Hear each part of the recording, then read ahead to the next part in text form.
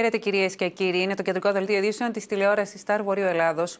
Ισχυρή έκρηξη βόμβα σημειώθηκε στο εφετείο Αθηνών τα ξημερώματα της Παρασκευής. Ο ορολογιακός εκρηκτικός μηχανισμός βρισκόταν σε τσάντα, την οποία άφησαν μπροστά από το κτίριο άγνωστη και πυροδοτήθηκε στις 3 και 25 τα ξημερώματα, προκαλώντας μεγάλες ζημιές. Παράλληλα, οι δράστες πυροβόλησαν κατά του αστυνομικού φρουρού, σύμφωνα και με δηλώσεις του Υπουργού Δικαιοσύνης Σταύρου Κοντονή. Από την έκρηξη και τον πυροβολισμό, ευτυχώς δεν υπάρχουν τραυματισμοί. Η επίθεση κατά της Δημοκρατίας και του κράτους δικαίου κάνει λόγο σε ανακοίνωσή του το γραφείο τύπου του Πρωθυπουργού αναφορικά με την επίθεση στο εφετείο. Ωστόσο, όπως διαμηνύει το Μέγαρο Μαξίμου, οι δημοκρατίες δεν τρομοκρατούνται ούτε από σφαίρες, ούτε από βόμβες, ούτε από κουκούλες. Η βομβιστική επίθεση στο εφετείο Αθηνών αποτελεί επίθεση κατά της Δημοκρατίας, αναφέρουν μεταξύ άλλων οι δικαστές σε σχετική ανακοίνωσή τους σήμερα Παρασκευή. Παράλληλα, ο πρόεδρος του Δικηγορικού Συλλόγου της Δράμας τονίζει χαρακτηριστικά πως η επίθεση αυτή είναι καταδικαστέα και η κυβέρνηση οφείλει να βρει άμεσα λύση και να λάβει άμεσα μέτρα καθώς δεν υπάρχει το σχετικό νομοθετικό πλαίσιο και είναι ημίμετρο η τροπολογία που κατατέθηκε προς ψήφιση στη Βουλή. Παράλληλα, τονίζει πως είναι μεγάλη δυσαρέσκεια στον κόσμο για το γεγονός των πληστηριασμών και των ηλεκτρονικών πληστηριασμών και αυτό που πρέπει να γίνει άμεσα είναι να βρεθεί λύση πριν καταντήσει η χώρα μας κάτι ανάλογο με αυτό που υπήρξε στην Ισπανία. Ε, Δυστυχώς, τα ξημερώματα σήμερα, όπως είπατε και εσείς, είχαμε τη βομβιστική επίθεση στο εφετείο Αθηνών, ε, που ευτυχώς είχε μόνο υλικές ζημιές ε, λόγω και της ώρας που έγινε. Ε, υπάρχει μια πολύ μεγάλη αντίδραση από τον κόσμο σε σχέση με το ζήτημα των πληστηριασμών και κυρίως όσον αφορά την πρώτη κατοικία. Η αλήθεια είναι πως ε, νομικά η πρώτη κατοικία ε, ως τέτοια έννοια δεν προστατεύεται. Προστατεύονται οι, οφειλ, οι οφειλέτες ε, γενικώς ε, όταν υπαχθούν στην, αυτή τη στιγμή στον νόμο Κατσέλη ή αν υπαχθούν στις διαδικασίες του εξοδικαστικού συμβασμού. Αυτό όμως αφορά γενικά τις οφειλές τους και όχι συγκεκριμένα την πρώτη κατοικία. Για να μπορέσουν λοιπόν να υπαχθούν σε μια προστατευτική διαδικασία που θα αφορά την πρώτη κατοικία πρέπει να υπάρξει σχετική νομοθετική πρόβλεψη που αυτή τη στιγμή δεν υπάρχει.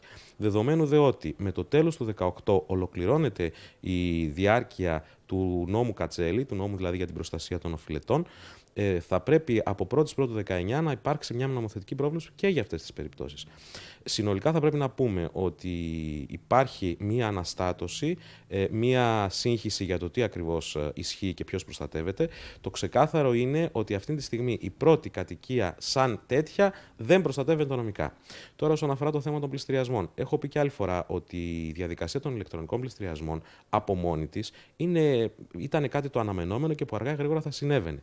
Κάτω από το καθεστώς όμως που βιώνουμε όλοι οι Έλληνες, με την ε, οικονομική κατάσταση που επικρατεί στη χώρα και με την ουσιαστική εξαθλίωση της μεγάλης ε, μερίδας των οφειλετών που δεν μπορούν να ανταποκριθούν στις υποχρεώσεις τους και το θέμα του ηλεκτρονικού πληστηριασμού επιτείνει ακόμη περισσότερο τη δύσκολη κατάσταση που βιώνουν όσοι ε, υπάγονται σε αυτές τις κατηγορίες. Συνεπώς, η αντίδραση αυτή προφανώς και είναι καταδικαστέα. Δεν μπορεί να αντιμετωπιστεί με βομβιστικές επιθέσεις, με καταστροφές περιουσιών, με κίνδυνο ανθρώπινης ζωής ε, η κατάσταση αυτή. Αλλά θα πρέπει η πολιτεία, η κυβέρνηση να αναλάβει μια νομοθετική πρωτοβουλία που να προστατεύσει ή να βρει τη χρυσή τομή για να προστατεύσει και την ε, περιουσία, την πρώτη κατοικία κυρίως των οφειλετών, και απ' την άλλη να μπορέσει ε, να αντέξει το τραπεζικό σύστημα τον όγκο των κόκκινων δανείων. Ε, το να αντιμετωπίζεται με επιμέρους μέτρα, όπως είναι η νομοθετική πρωτοβουλία του Υπουργείου Δικαιοσύνης για την, ε, το ιδιώνυμο αδίκημα της παρεμπόδισης του πληστηριασμού, όπως έγινε χθες, με την ψήφιση της σχετικής διάταξης, αυτό είναι ένα ημίμετρο το οποίο αδυνατεί να αντιμετωπίσει την κατάσταση. Το να υπάρχει μια ειδική νομοθεσία δηλαδή για αυτούς που παρεμποδίζουν τους πληστηριασμούς, δεν αντιμετωπίζει το ίδιο το πρόβλημα των πληστηριασμών. Ε, η γενεσιουργός αιτία του όλου προβλήματος είναι αλλού. Δεν είναι οι αντιδράσεις και πώς θα προστατεύσουμε τους συμβολογράφους από τις αντιδράσεις. Είναι πώς θα προστατεύσουμε τους πολίτες. Και δυστυχώς αυτή τη στιγμή δεν υπάρχει αυτό το νομοθετικό πλαίσιο. Συνεπώς, θα πρέπει να αναλυφθεί επιτέλους μια τέτοια πρωτοβουλία άμεσα, όσο ακόμα μπορεί να γίνει κάτι τέτοιο, πριν εκτραχυνθούν ακόμη περισσότερο τα πράγματα, για να μπορέσουμε να έχουμε αποτελεσματική προστασία από τη μία της πρώτης κατοικίας και διασφάλιση της βιωσιμότητας των τραπεζών. Λέτε να μην εκτραχυνθούν τα πράγματα. Άρα πιστεύετε ότι αυτό είναι μόνο η αρχή και θα έχουμε έτσι τρελές καταστάσεις όπως συνέβαινε και στην Ισπανία; Δυστυχώς, εάν συνεχιστεί αυτή η κατάσταση, ε, φοβάμαι ότι θα δούμε και χειρότερα πράγματα. Όπως είπατε πολύ σωστά και στην Ισπανία ή και στην Ουγγαρία στο παρελθόν και σε άλλες χώρες, όταν δεν αντιμετωπίστηκαν έγκαιρα τα φαινόμενα αυτά, τότε θα φουσκώσουν ακόμη περισσότερο και θα έχουμε ε, συνέπειες ίσως ε, πολύ χειρότερες από ό,τι έχουμε δει μέχρι σήμερα. Ε, η κατάσταση ακόμα μπορεί να τεθεί υπό έλεγχο. Πριν ξεφύγει από κάθε έλεγχο, θα πρέπει να αναλυθούν εκείνες οι πρωτοβουλίες που να μπορέσουν να την ελέγξουν. Και δεν είναι άλλες από αυτές που σας είπα προηγουμένως.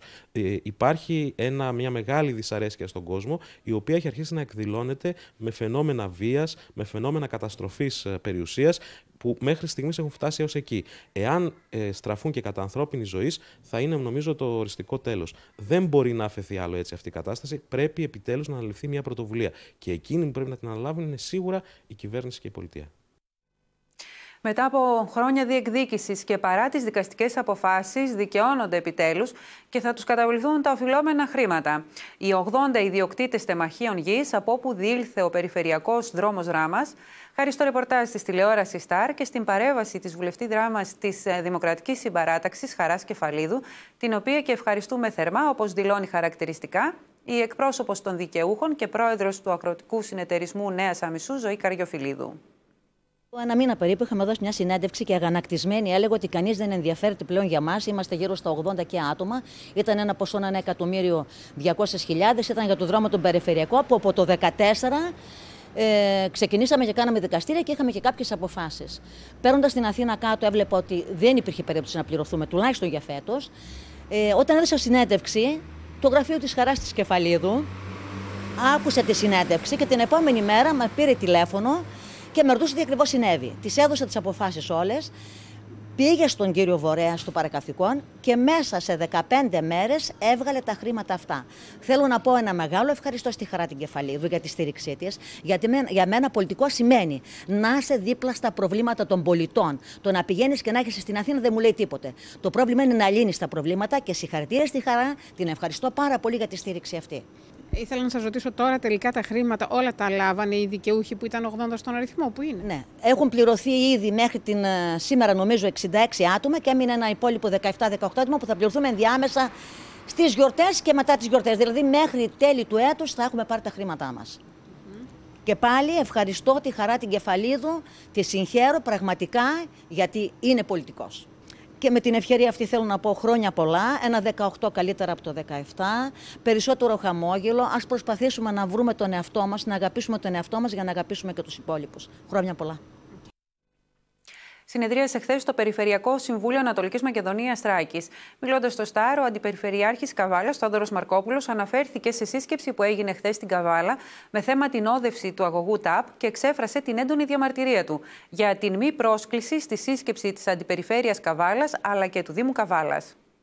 Εποχή δύσκολη και σε μια εποχή που πρέπει να μπορέσουμε να ξεπεράσουμε ε, μία σωρία από δυσκολίες. Απαιτείται μεταξύ μας η περιφέρεια με τους Δήμους, η Δήμη με την περιφέρεια, η περιφέρεια με την κυβέρνηση, η κυβέρνηση με όλους μας να έχουμε μια καλή συνεργασία. Δυστυχώς όμως κάθε μέρα ξεφυτρώνει και ένα παράδειγμα που μας δείχνει ότι αυτό το ζήτημα δεν προχωράει. Και το λέω αυτό γιατί αυτό που ονομάστηκε αναπτυξιακό συνέδριο δεν έχει παλιώσει ακόμη, δεν έχει φύγει από τη μνήμη μας.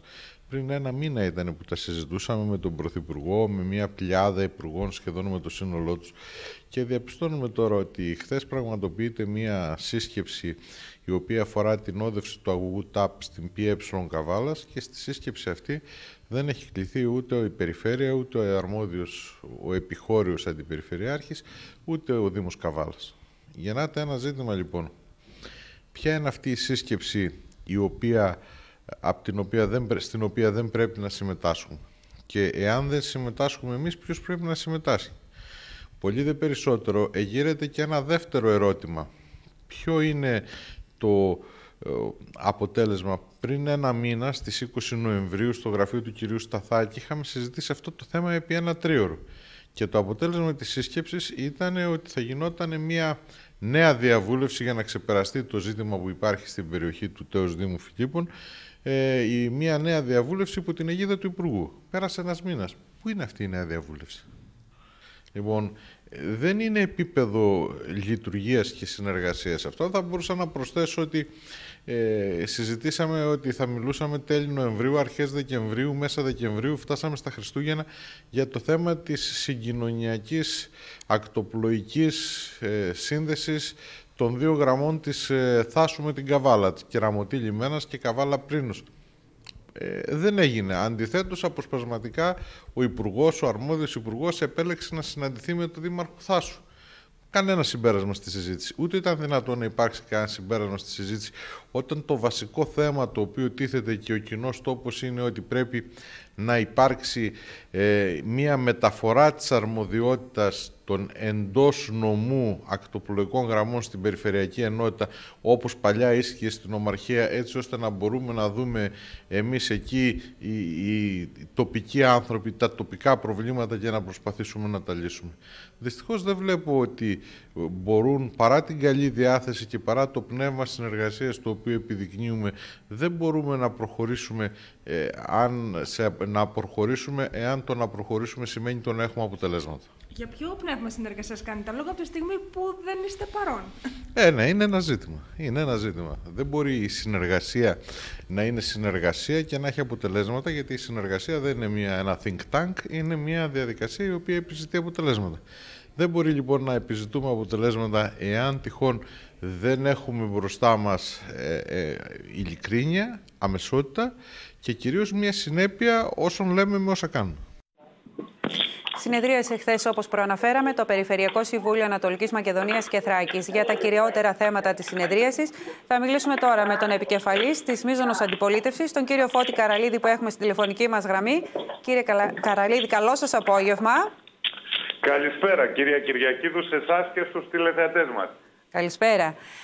Συνεδρίασε χθες το Περιφερειακό Συμβούλιο. Ποια τα κυριότερα θέματα της συνεδρίασης; Τα κυριότερα θέματα. Πιστεύω το κυριότερο θέμα της ημερήσιας διάταξης ήταν αυτό το προγράμμα του τεχνικού προγράμματος ναι. Παύλα ε, πρόγραμμα δράσης το οποίο ήρθε για έγκριση αλλά με τη διαβεβαίωση ότι θα υποστεί πολλές τροποποιήσεις.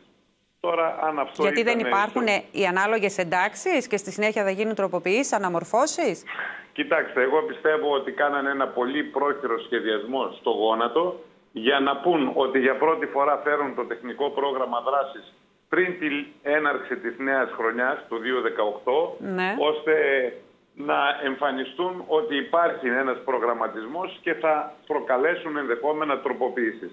Το πρόγραμμα αυτό, ως συνήθως συζητώνταν τον μήνα Φεβρουάριο και έκτοτε δεν υφίστατο μεγάλες προ, ε, τροποποιήσεις και προϋπολογιστικά τα χρήματά του ήταν δεσμευμένα στον προϋπολογισμό. Αυτή τη στιγμή δεν νομίζω ότι ισχύει αυτό και πέραν αυτού ήθελαν να παρουσιάσουν αυτή την ε, ταχύτητα υποτίθεται, η οποία όμως έλαβε τη διαβεβαίωση των πολλών τροποποιήσεων. Τώρα αυτό δεν ξέρω πού αποσκοπούσε. Σίγουρα αποσκοπεί προφανώς να καλύψει αδυναμίες και λειτουργίες της διοίκησης. Το τεχνικό πρόγραμμα δράσης, το τεχνικό πρόγραμμα ε, περιλαμβάνει κάποια σημαντικά έργα, κάτι που ξεχωρίζετε εσείς; Ακούστε να δείτε. Το τεχνικό πρόγραμμα από μόνο το όπως το λέει ναι. πρέπει να έχει μια σωρία τεχνικών έργων τα οποία ουσιαστικά εξυπηρετούν την καθημερινότητα των πολιτών της περιφέρειάς μας.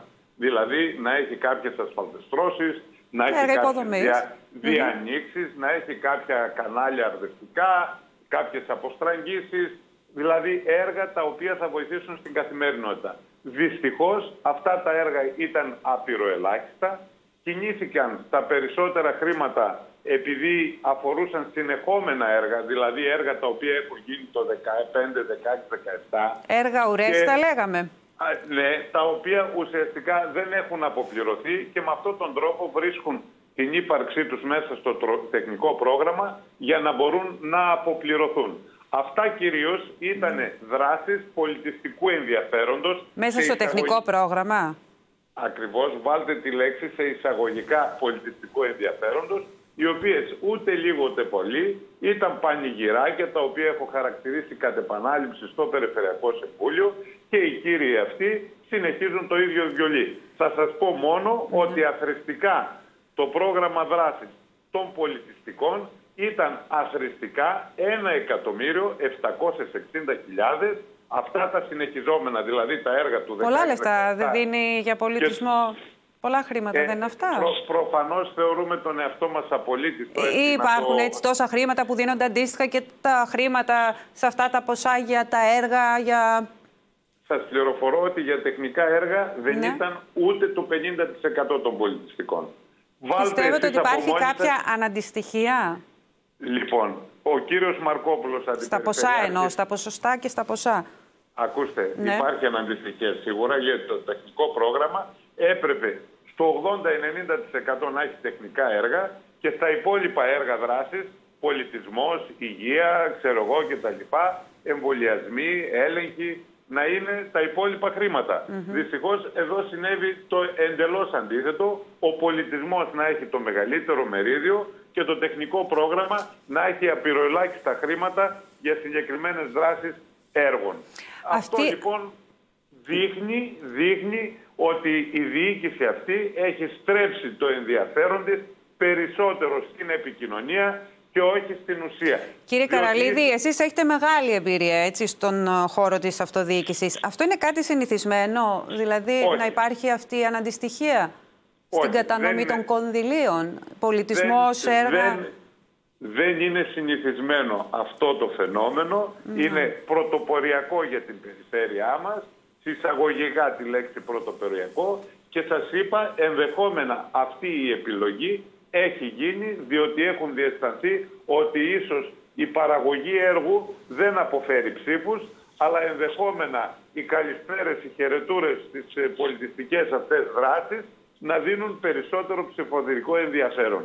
Άρα λοιπόν έχει μια σκοπιμότητα το να κινήσει το 2018 εν των εκλογών του 2019 σε αυτές τις κατευθύνσεις. Είναι αντιληπτό και κατανοητό σε μεγάλο βαθμό, αλλά δυστυχώς ακόμη και αυτοί οι κουτοπώνηροι χειρισμοί από την πλευρά της διοίκησης αποβαίνουν στην ουσία σε βάρος των πολιτών της περιφέρειάς μας.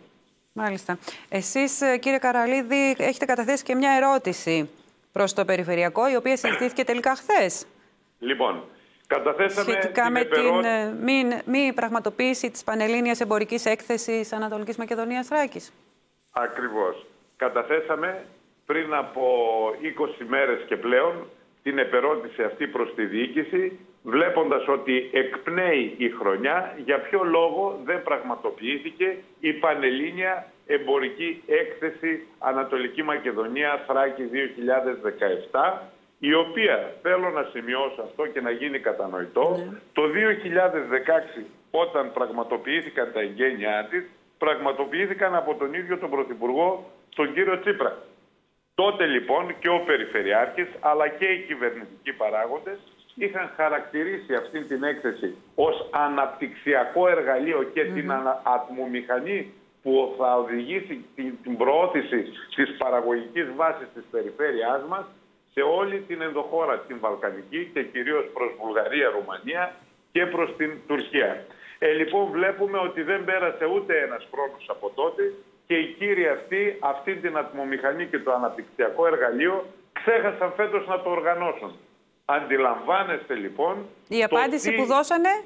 Η απάντηση που δώσανε. Αφού αναβάλαν την προηγούμενη ε, το προηγούμενο Περιφερειακό Συμβούλιο, γιατί ήταν πολύ σύντομος ο χρόνος που καταθέσαμε και την απάντησή τους, είχαν δεσμευτεί για την απάντηση στο επόμενο Περιφερειακό Συμβούλιο, δηλαδή χθες. Ναι. Ε, λοιπόν, η απάντηση που πήραμε ήταν μία απάντηση. Ότι θα σας απαντήσουμε σε λίγες μέρες.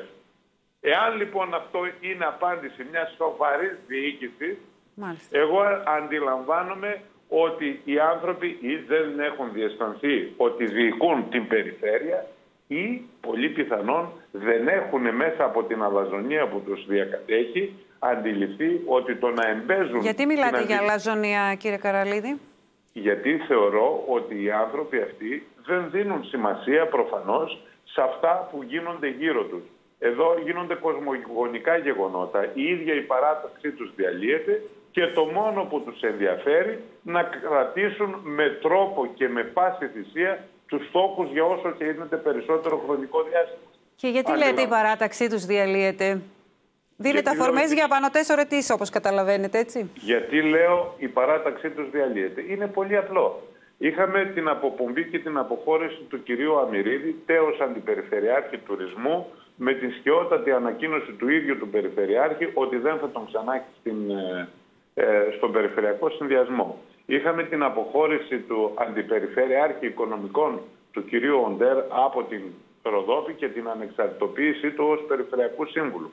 Είχαμε πριν από λίγες μέρες την αποπομπή και την αφαίρεση αρμοδιοτήτων από τον κύριο Πατακάκη επειδή πήρε μια πρωτόδικη καταδίκη σε βάρος το θεωρείτε; Για... Ναι.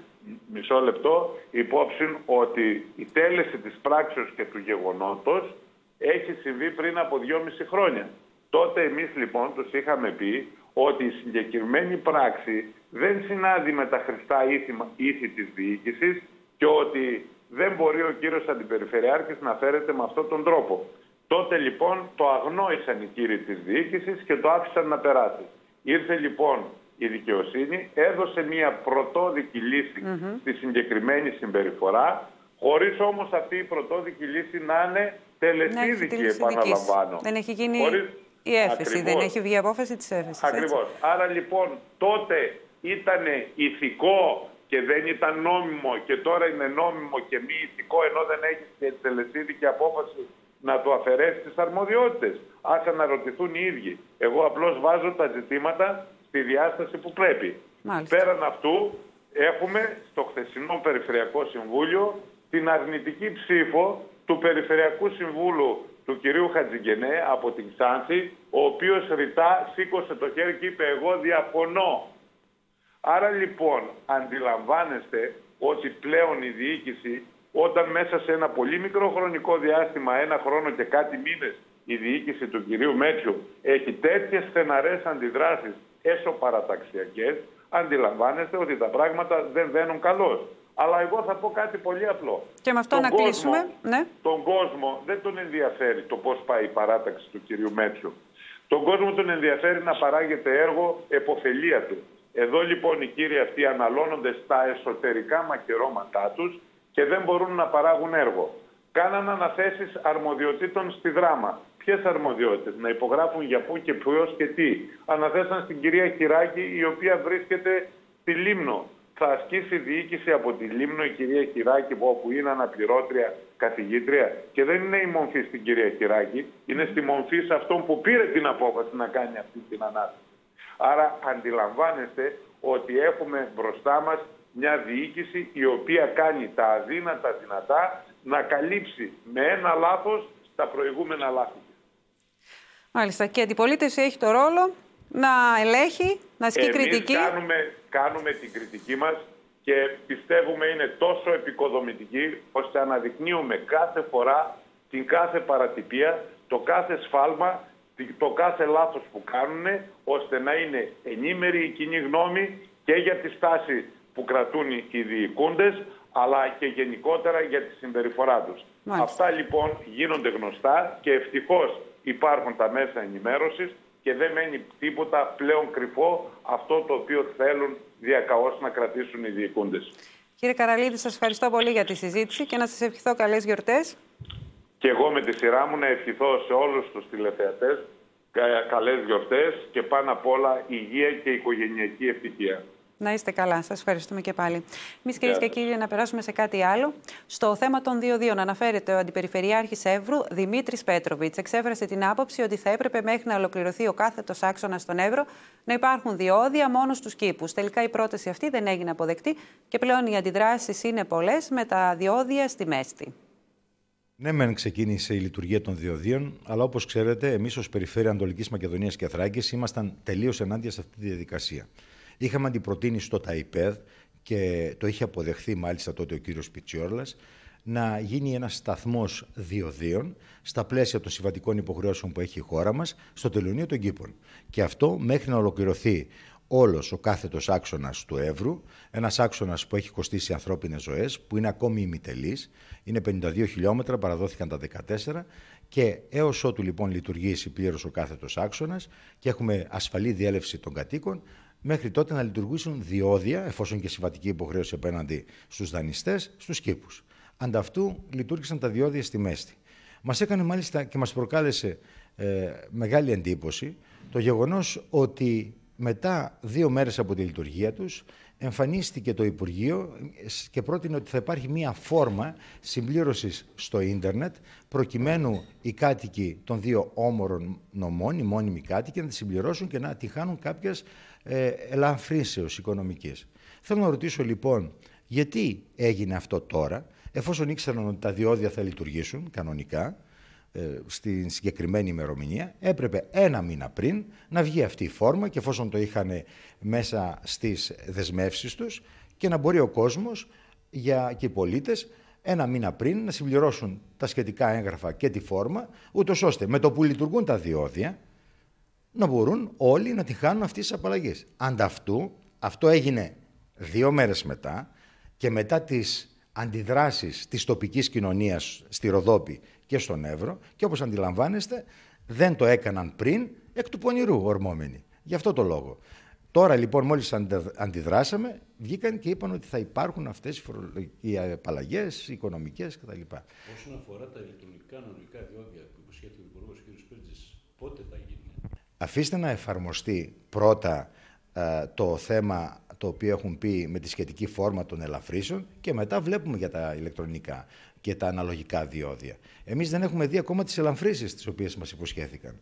Άρα ε, ποιους να πιστέψουμε.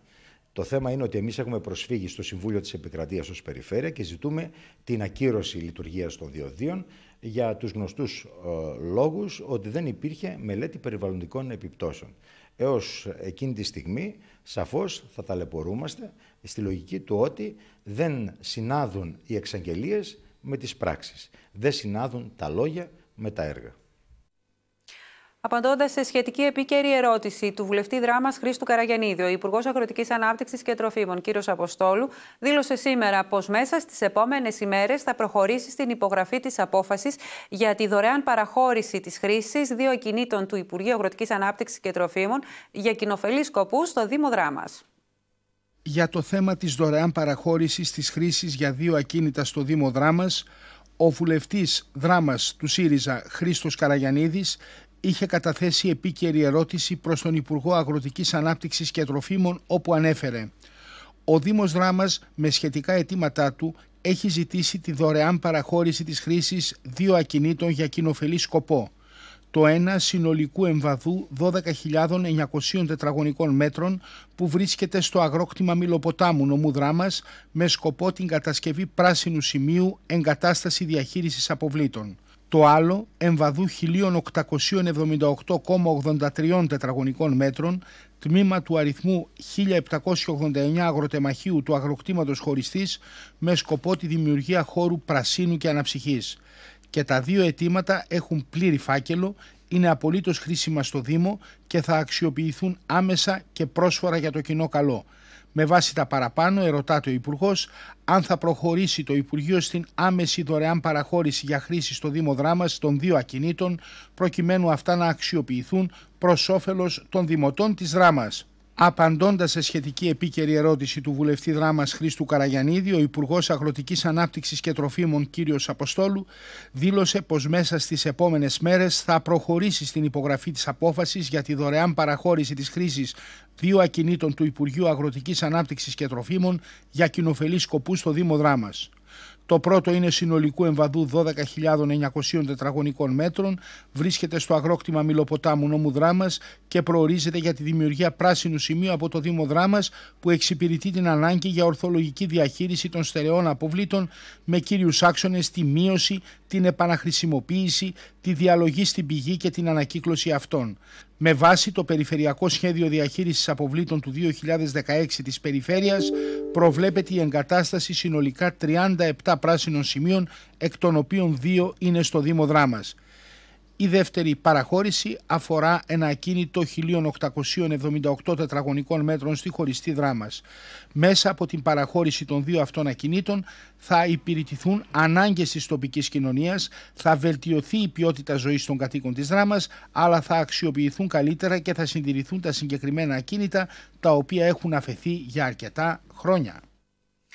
Είχαμε ακόμα μια θετική εξέλιξη για το Δήμο Δράμας. Πιο συγκεκριμένα, το Υπουργείο Οικονομίας στέθηκε αρρωγός και σε αυτές τις δύσκολες δημοσιονομικές συνθήκες βοηθά οικονομικά το θεσμό του Φεστιβάλ Ταινιών Μικρού Μήκους Δράμας, ένα σημαντικό θεσμό που εδώ και 40 χρόνια έχει συνδέσει την ιστορία του με την ιστορία της πόλης της Δράμας. Συγκεκριμένα, το Υπουργείο ενέκρινε τη χρηματοδότηση του φεστιβάλ με 1,3 εκατομμύρια ευρώ από εθνικούς πόρους για την τετραετία 2018-2021 το Υπουργείο Οικονομίας στέθηκε αρρωγός και σε αυτήν την δύσκολη οικονομική συγκυρία βοηθά οικονομικά το Φεστιβάλ Ταινιών Μικρού Μήκους με ένα πολύ σημαντικό ποσό. Όπως αναφέρει ο βουλευτής του ΣΥΡΙΖΑ Χρήστος Καραγιανίδης, μετά από συντονισμένες προσπάθειες από κοινού με τον αναπληρωτή Υπουργό Οικονομίας και Ανάπτυξης Αλέξη Χαρίτσι, το Υπουργείο τέθηκε αρρωγός και σε αυτές τις δύσκολες δημοσιονομικές συνθήκες βοηθά οικονομικά το θεσμό του Φεστιβάλ Ταινιών Μικρού Μήκους, έναν σημαντικό θεσμό που εδώ και 40 χρόνια έχει συνδέσει την ιστορία του με την ιστορία της πόλης της Δράμας σε συνάντηση με τον αναπληρωτή Υπουργό, παρουσία του Δημάρχου Δράμας Χριστόδουλου Μαμσάκου, του Προέδρου του Πολιτιστικού Οργανισμού Φεστιβάλ Ταινιών Μικρού Μήκους Δράμας Ανέστη Τερζή και του Καλλιτεχνικού Διευθυντή του Φεστιβάλ Αντώνη Παπαδόπουλου, συζητήθηκαν οι αναπτυξιακές προοπτικές του ακριτικού νομού και ειδικότερα οι χρηματοδοτικές ανάγκες του Φεστιβάλ Ταινιών Μικρού Μήκους Δράμας, που θεωρείται ένα από τα σημαντικότερα στην Ευρώπη. Έγινε ξεκάθαρο ότι οποιαδήποτε αρρωγή θα πρέπει να ανταποκρίνεται στις απαιτήσεις του παρόντος και του μέλλοντος του φεστιβάλ ώστε να συνεχίσει απρόσκοπτα το έργο του στον πολιτισμό και την ανάδειξη της πόλης της δράμας. Ο αναπληρωτής υπουργός ενέκρινε τη χρηματοδότηση του φεστιβάλ με 1,3 εκατομμύρια ευρώ από εθνικούς πόρους για την τετραετία 2018 έως 2021 και έκανε την ακόλουθη δήλωση. Ο πολιτισμός αποτελεί προτεραιότητα για την κυβέρνηση. Στηρίζουμε το Φεστιβάλ Ταινιών Μικρού Μήκους, έναν σημαντικό θεσμό που ξεπερνά κατά πολύ τα σύνορα της Ελλάδας και του οποίου η ιστορία είναι άρρηκτα συνδεδεμένη με εκείνη της δράμας εξασφαλίζουμε τη χρηματοδότησή του σε βάθος τετραετίας για να δοθεί η δυνατότητα στους συντελεστές του να υλοποιήσουν έναν μακρόπνο και ολοκληρωμένο σχεδιασμό. Συμβάλλουμε στην προσπάθεια ώστε το φεστιβάλ να παραμένει σημείο αναφοράς για τους κινηματογραφιστές από όλο τον κόσμο αλλά και πυρήνα ανάπτυξης και πολιτισμού για την πόλη της δράμας. Και στο σημείο αυτό να περάσουμε σε ένα σύντομο διάλειμμα για διαφημίσεις και σε λίγο θα είμαστε και πάλι μαζί.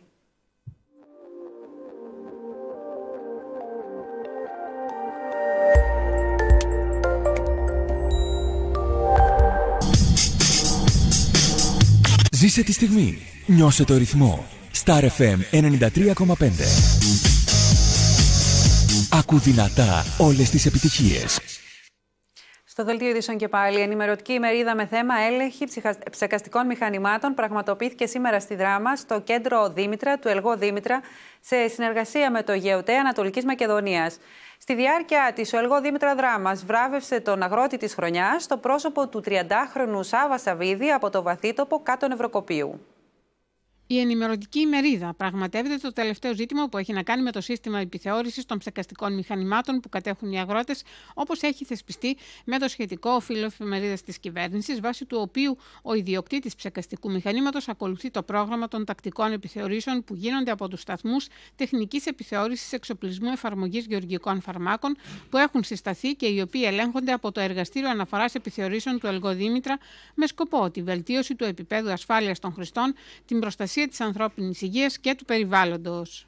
Πριν την έναρξη της ημερίδας, όπως ήθιστε κάθε χρόνο, το κέντρο Δήμητρα Δράμας απένει με τον τιμητικό έπαινο αγρότης της χρονιάς σε 30χρονο αγρότη από την περιοχή του Κάτω Ευρωκοπίου, ο οποίος διακρίνεται για το ήθος του καθώς και για την εφαρμογή καινοτόμων αλλά και ορθολογικών πρακτικών στην γεωργική του εκμετάλλευση. Πρόκειται για τον Σάβα Σαββίδη από το βαθύτοπο Κάτω Ευρωκοπίου. Σήμερα εδώ στο κέντρο Δήμητρα Δράμας ε, γίνεται μια ενημερωτική ημερίδα με σκοπό να ενημερώσουμε τους αγρότες του νομού μας και όχι μόνο, αλλά και τους ε, άμεσα ενδιαφερόμενους σχετικά με την επιθεώρηση των ψεκαστικών μηχανημάτων. Ε, ο νόμος 4036 του 2012 προβλέπει πολλές αλλαγές στον τομέα της διακίνησης και της χρήσης των γεωργικών φαρμάκων και ένα από αυτά είναι η επιθεώρηση του εξοπλισμού εφαρμογής γεωργικών φαρμάκων κοινό ψεκαστικό μηχάνημα.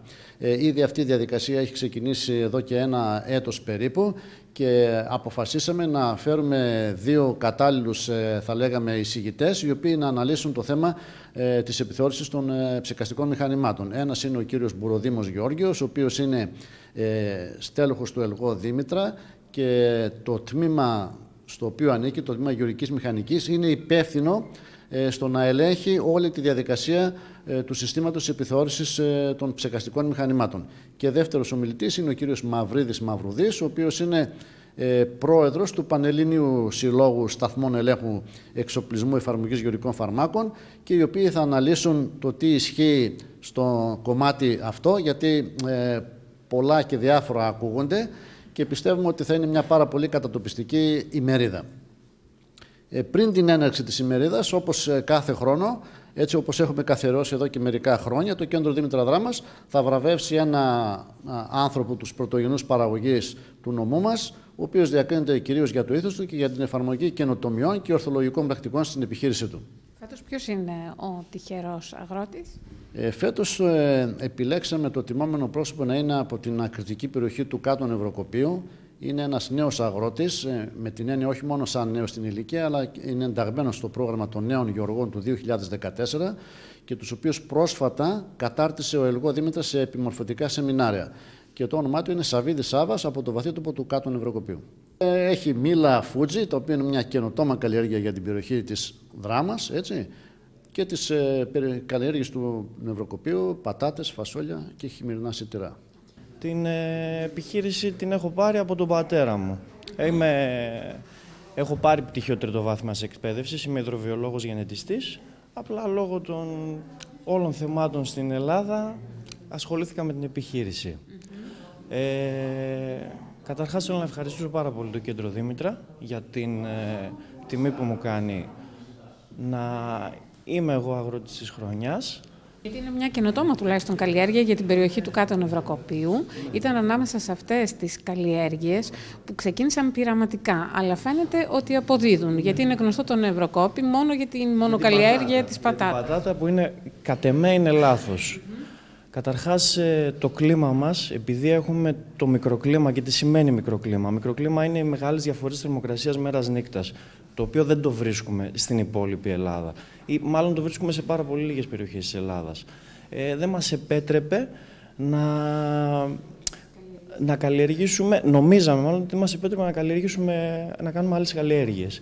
Ε, τα τελευταία χρόνια η πατάτα έχει αρχίσει να εκλείπει λίγο, να πέφτει λίγο στο, στον Ευρωκόπη για το λόγο του ότι ε, μπήκαν διάφορες ποικιλίες οι οποίες είναι πιο βιομηχανικές, έχουν χάσει την ποιότητά της, ε, το όλο θέμα της πατάτας και ενώ βάζαμε πάρα πολλά στρέμματα, αρκετά στρέμματα πατάτας μάλλον μπορώ να πω, ε, σκεφτήκαμε να κάνουμε μια άλλη καλλιέργεια. Μέσω ενός συνεργάτη στην Καστοριά σκεφτήκαμε να βάλουμε ένα κτήμα μήλα.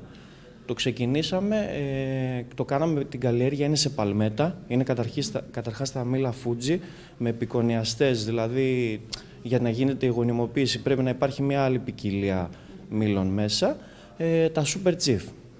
Λοιπόν, ε, τα... Πώς προχωράει; Η καλλιέργεια, ναι. καλλιέργεια προχωράει πάρα πολύ καλά, δηλαδή δεν περιμέναμε. Ο συνεργάτη μας, ας πούμε, στην Καστοριά που έβαλε τα μήλα ταυτόχρονα με εμάς, δεν έχει τόσο πολύ καλή ε, ανάπτυξη, να το πω, όσο το δικό μας το κτήμα. Ε, όσο πάμε μαθαίνουμε, βλέπουμε την καλλιέργεια με πιο καλό μάτι και εγώ σκέφτομαι τώρα στο δικό μου σχέδιο βελτίωσης που έχω, σαν νέος αγρότης, να βάλω ένα ακόμα κτήμα.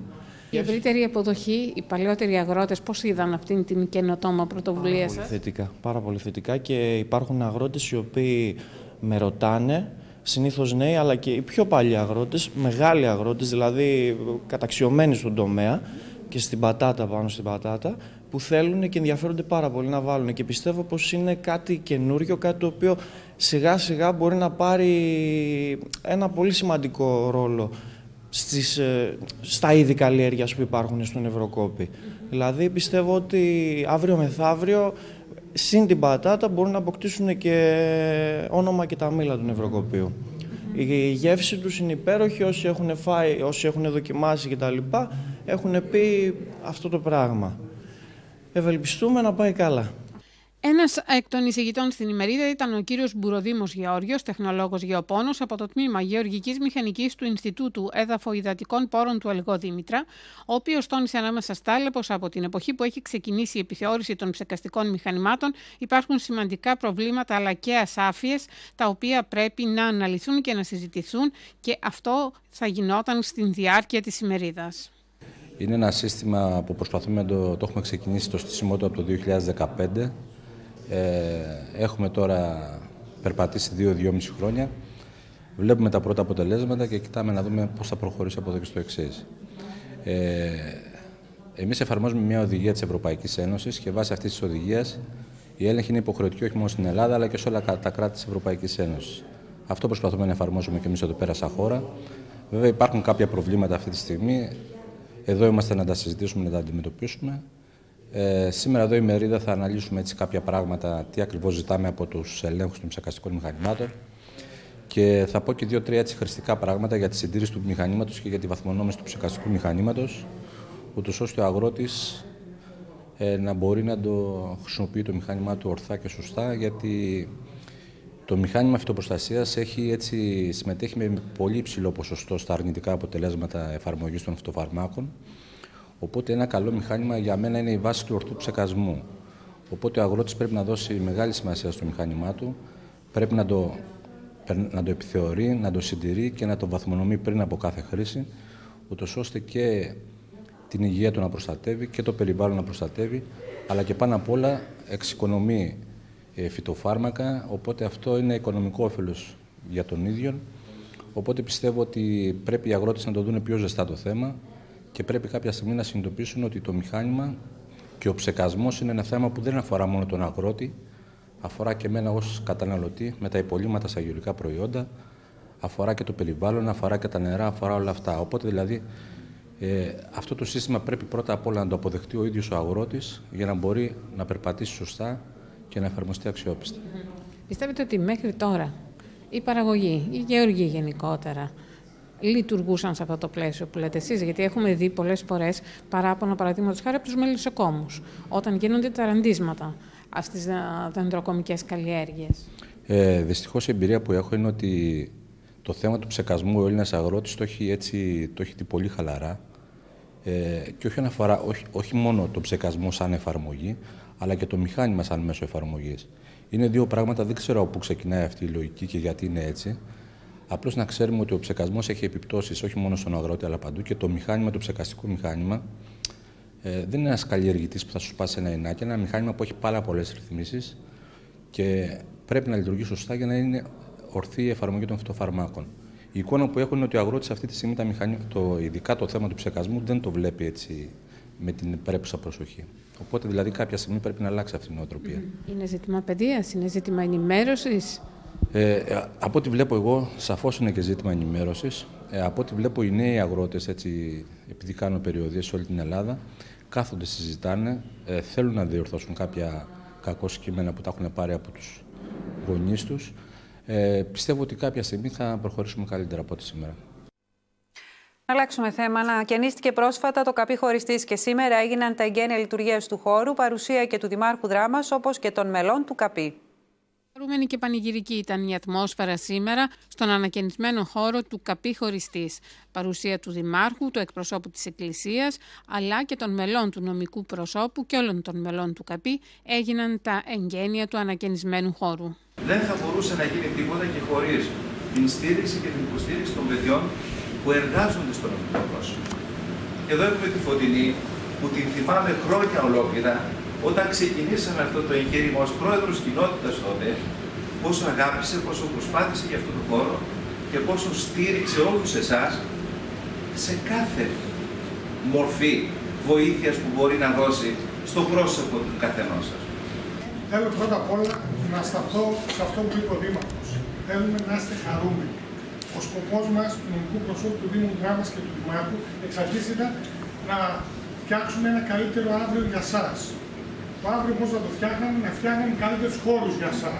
Αρχίσαμε από το καπί τη ράμα, είχε αρχίσει η κυρία Καριοφιλίου, το καπί του ξηροποτάμου και φτάσαμε σε αυτό το καπί που δεν ήταν ακριβώς καπί.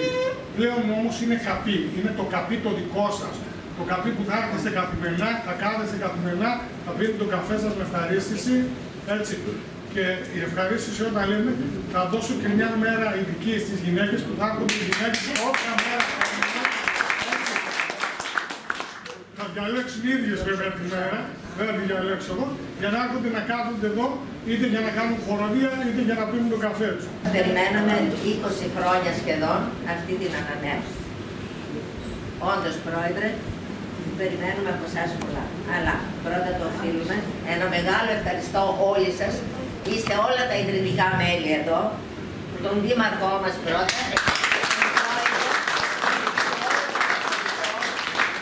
που μας ανανέωσαν, νιώθουμε σαν νιώπατε. Το νομικό πρόσωπο του Δήμου Δράμας και ο Δήμα, σε συνεργασία με τον Δήμαρχο Δράμας μετά από 18 χρόνια επιτέλους έκανε ανακαίνιση το καπί της χωριστής. Ένα καπί που πραγματικά δεν ήταν σε κατάσταση για να έρθει η τρίτη ηλικία να κάτσει. Ανακαινίστηκε όλος ο χώρος, ε, θερμάθηκε και από εδώ και πέρα θα μπορούν οι άνθρωποι της τρίτης ηλικίας ευχάριστα να έρχονται σε αυτό το χώρο, να πίνουν τον καφέ τους και να κάνουν τις δραστηριότητες τους. Φαντάζομαι ότι ακολουθούν και άλλες παρεμβάσεις σας, είτε σε βρεφονιπιακούς σταθμούς, είτε σε καπί. Τέλος πάντων, έχετε προτεραιότητες εννοώ. Ναι, τον επόμενο χρόνο ετοιμάζουμε σε συνεργασία πάλι με το Δήμο Δράμας δύο παιδικούς σταθμούς που θα ανακαινιστούν. Ο, είσαστε οι πρώτοι που το μαθαίνετε, είναι ο, ο παιδικός σταθμός του Ξηροποτάμου που θα φτιαχτεί ψευδοροφή και ο πέμπτος παιδικός που είναι στην ανάπλαση που θα φτιαχτούν πάνω η σκεπή. Ε, και, τα, και στους δύο παιδικούς αυτούς έχουμε πρόβλημα και με την βοήθεια του Δημάρχου και της Δημοτικής Αρχής θα γίνουν και οι δύο παιδικοί σταθμοί μέχρι το Πάσχα. Είναι ένα έργο που είναι 42.000 και πέρασε από το Δημοτικό Συμβούλιο. Ναι, μετά την, με την κατάσταση του καπί της Δράμας και του Ξηροποτάμου σε δύο καινούριους χώρους έχουμε σήμερα την ανακατασκευή του καπί χωριστής ενός χώρου που συγκεντρώνει την αγάπη των ανθρώπων της τρίτης ηλικίας δίνοντας ως Δημοτική Αρχή και ως Δήμαρχος προσωπικά το δικαίωμα σε αυτούς τους ανθρώπους να ζουν σε έναν χώρο που πρώτα απ' όλα τον αγαπάνε, που στεγάζουν μέσα τις φιλίες, τις γνωριμίες που έχουν και τα δικά τους θέλω και γιατί, σε έναν χώρο μοναδικό όπως, όπως είδατε κι εσείς, γιατί η δική μας Δημοτική Αρχή δίνει πολύ μεγάλη βαρύτητα στους ανθρώπους της τρίτης ηλικίας. Έκλεισαν σήμερα τα σχολεία για τις εορτές των Χριστουγέννων και οι μαθητές αποχαιρέτησαν τους δασκάλους τους σε εορταστική ατμόσφαιρα, όπως το 15ο Δημοτικό Σχολείο Δράμα, μέσα από σκέτς, τραγούδια και ποίηματα που μαζί με τους εκπαιδευτικούς προετοίμασαν, σκορπώντας πολλά χαμόγελα σε γονείς και κηδεμόνες.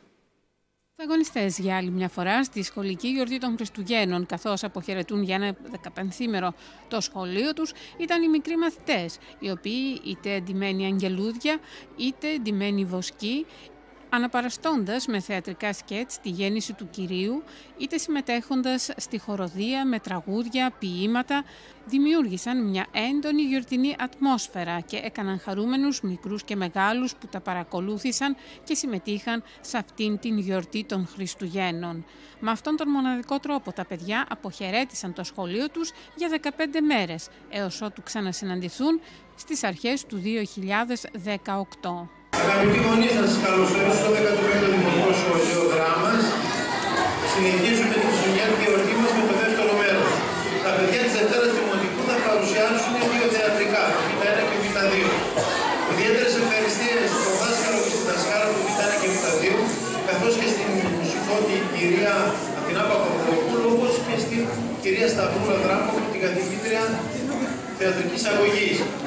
Αυτή η προσπάθεια την οποία βλέπετε που καταβλήθηκε από τα παιδιά σας είναι προσπάθεια ενός μήνας. Οπότε και το χειροκρότημά σας είναι ενθαρρυντικό για τα παιδιά να αναθεωρήσουν και να ανατολικοδοτηθούν. Θα ήθελα να πω το εξής. Ξέρουμε βέβαια τι είναι θρύλος. Θρύλος είναι ένα, ένα ιστορικό γεγονός το οποίο και το οποίο το έχουμε περιβάλλει με κάποια μυθικά στοιχεία. Βλέπω θρύλος του μαρμαρωμένου βασιλιά. Έτσι, για τον Ιωάννη του Πατάτση. Βρίσκεται κάπου και κάποια στιγμή πρόκειται να αναστηθεί όταν, όταν το ελληνικό γένος θα ανακαταλάβει το Κωνσταντινούπολη. Λέμε παραδείγματος χάρη για το θρύλο του κρυφού σχολείου. Θα διηγηθώ λίγο με συντομία έναν άλλο θρύλο που έχει σχέση με τα Χριστούγεννα και είναι θρύλος που έρχεται από τη Δυτική Ευρώπη.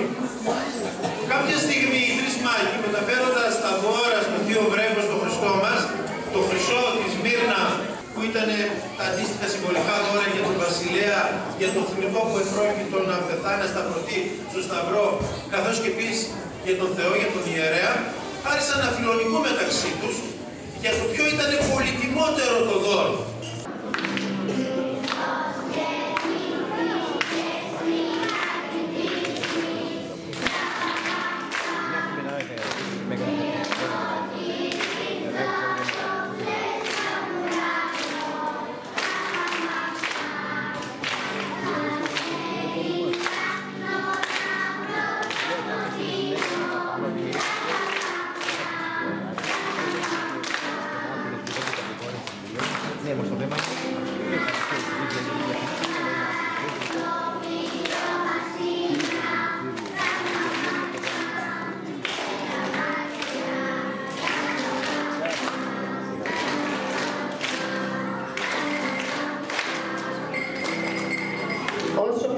Στην πόλη, τους φάνηκε πως οι δρόμοι είχαν σκεπαστεί από χιόνι. Κι όμως, εκείνη η λευκή θάλασσα δεν ήταν άλλο από το κομμάτι του Γιάννη. Και τα πρόβατα άκουσαν τα τραγούδια των αγγέλων και πήραν τον δρόμο για τη Βιθλεέμ, να βρουν το στάβλο με το θεϊκό μωρό.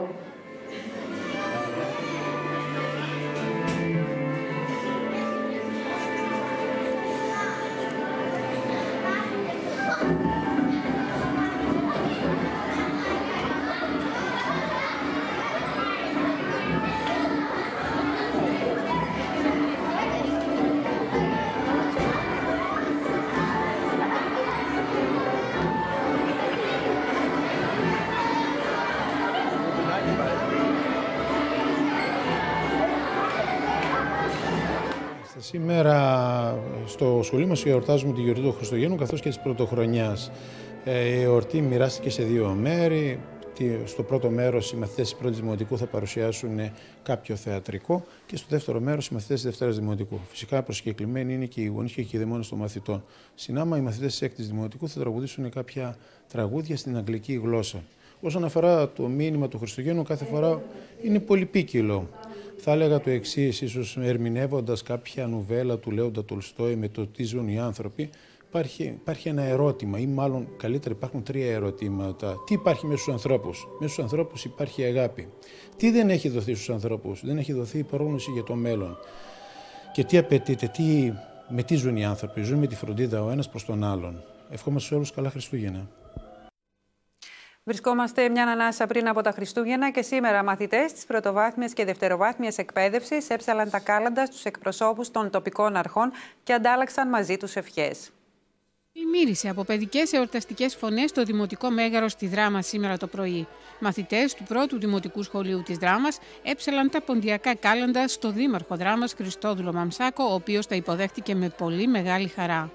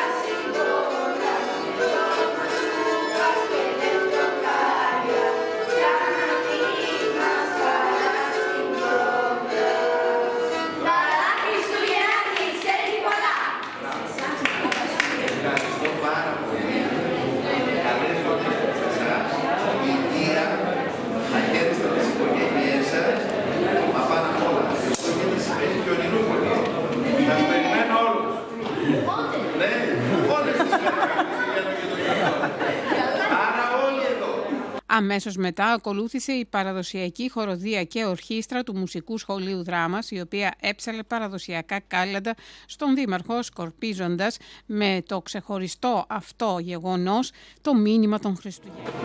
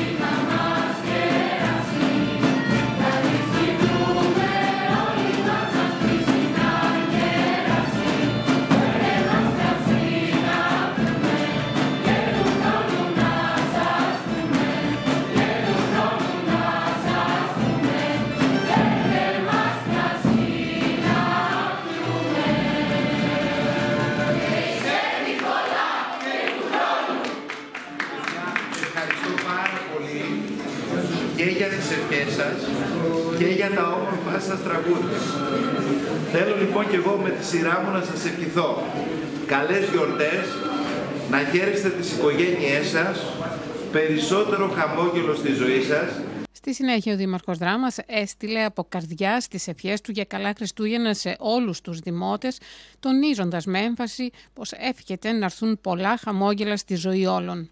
Θέλω να ευχηθώ σε όλους τους συμπολίτες μου. Χρόνια πολλά, χρόνια καλά. Με υγεία, καλύτερες μέρες, οικογενειακή ευτυχία, μα πάνω απ' όλα να βάλουμε λίγο στη ζωή μας και το χαμόγελο. Θέλω να πιστεύω ότι ο καινούριος χρόνος που θα έρθει θα βρει τους δραμινούς με περισσότερη διάθεση, με περισσότερο χαμόγελο, με περισσότερη οικογενειακή γαλήνη και ευτυχία. Από καρδιάς λοιπόν χρόνια πολλά σε όλους τους δραμινούς και τις δραμινές. Μένουμε στο εορταστικό κλίμα. Τα κάλαντα στο Σεβασμιότατο Μητροπολίτη Δράμας, κύριο Παύλο, έψαλαν σήμερα οι μαθητές του Μουσικού Σχολείου Δράμας με την παραδοσιακή χοροδία και ορχήστρα τους και έλαβαν τις εγκάρδιες ευχές του. Με έναν ιδιαίτερο τρόπο απέδωσαν τα κάλαντα στον Σεβασμιότατο Μητροπολίτη Δράμας κύριο Παύλο, η παραδοσιακή ορχήστρα και η χοροδία του Μουσικού Σχολείου της Δράμας.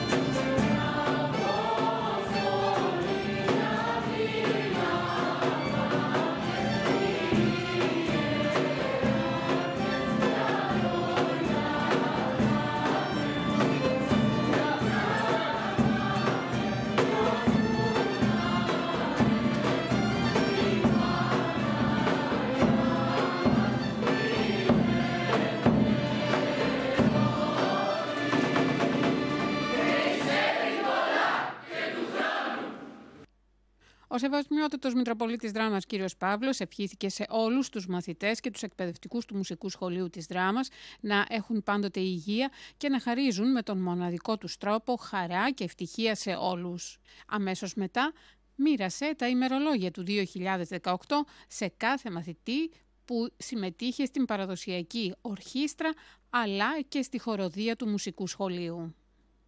Και σε εσάς ευχόμαστε χρόνια πολλά, υγεία, ευλογία και ο Θεός να σας βοηθήσει στους σχεδιασμούς σας για το μέλλον. Και εμείς ευχαριστούμε πάρα πολύ σε ευρωδημότατε, για την τιμή που μας κάνετε να μας δεχτείτε και για όλα αυτά τα οποία προσφέρετε στο σχολείο μας και βοηθάτε τα παιδιά.